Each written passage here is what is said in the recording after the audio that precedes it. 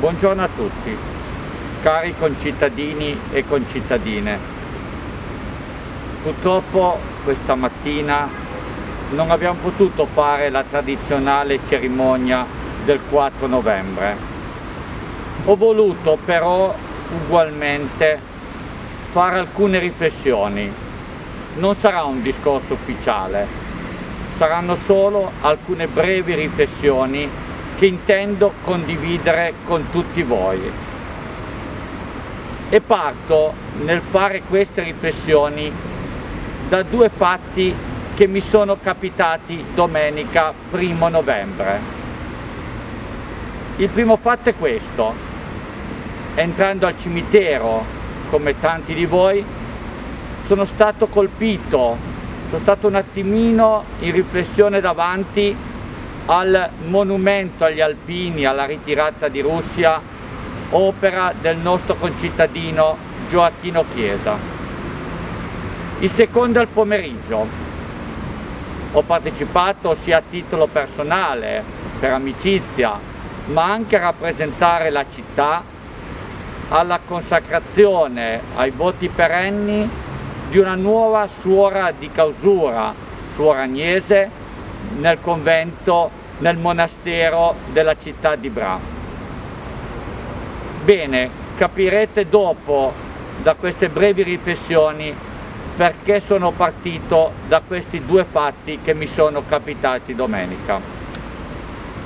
Pensate che fino agli anni 70, se non vado errato, il giorno di oggi era una giornata festiva, non si lavorava, non si andava a scuola, Adesso chiedendo a diversi giovani che cos'è il 4 novembre, alcuni faticano a dirne il motivo.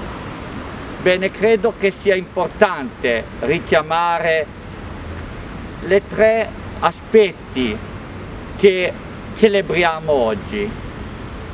La prima, la fine della prima guerra mondiale, l'armistizio di Villa Giusti 4 novembre 1918. Non dimentichiamo però le tante vittime giovani di tutte le nazioni che hanno perso la vita durante questo conflitto. Per l'Italia 689.000 morti e 1 milione e 50.000 feriti. Secondo, oggi ricordiamo e celebriamo l'unità d'Italia, ma importante, non pensata solo come entità statale, ma come unità di una comunità di cittadini. È molto importante questo aspetto. E terzo, festa delle forze armate.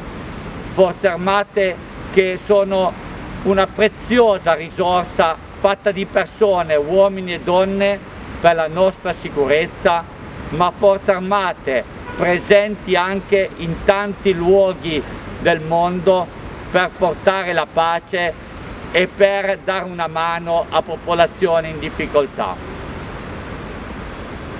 Ho pensato che insieme al 4 novembre noi in Italia ricordiamo diverse altre date, mi viene in mente il 25 aprile, il 2 giugno, il 1 maggio, il 27 gennaio. È importante ricordarla perché è un po' come la nostra carta d'identità, senza essa mancherebbe un pezzo della nostra storia. Però c'è un fil rouge che lega queste date.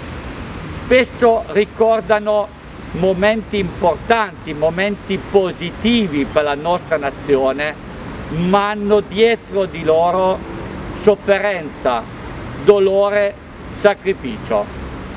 E allora ritorno da dove sono partito, dai due avvenimenti di domenica.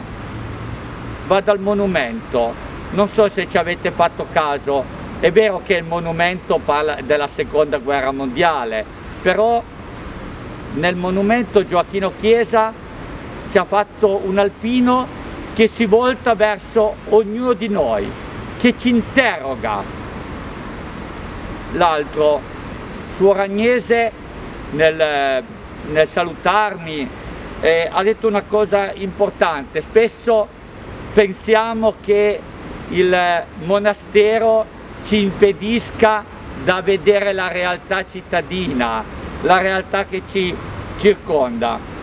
Invece lei dice occorre guardare lontano, mentre oggi si tende a vedere solo vicino.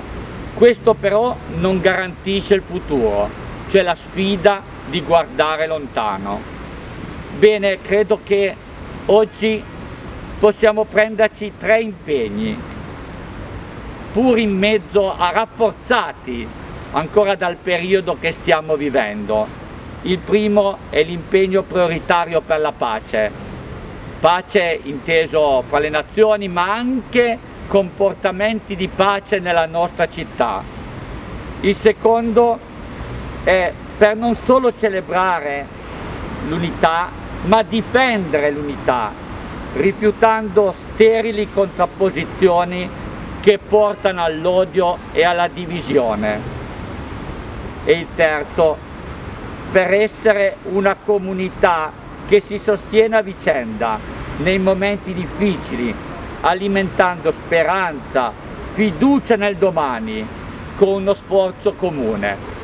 E permettetemi, in chiusura ritorno ancora una volta al Monumento degli Alpini, mi è capitato di partecipare a diverse manifestazioni organizzate dagli alpini e mi ha sempre colpito a volte il loro urlo quando vengono ricordati dei nomi e, e urlano tutti insieme presente.